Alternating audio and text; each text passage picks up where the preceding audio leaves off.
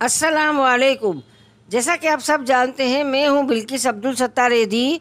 पंद्रह नवंबर से सत्रह सत्ताईस नवंबर तक खसरा की जो मुहिम चालू हुई है, उसमें हमको चाहिए, हम नौ माह के बच्चे से लेकर पंद्रह साल के बच्चे तक हम अपने बच्चों को टीके टीके लगवाएँ ताकि हमारा माशरा सेहतमंद रहे, हमारे बच्चे सेहतमंद रहे, हमारा पाकिस्तान सेहतमंद रहे।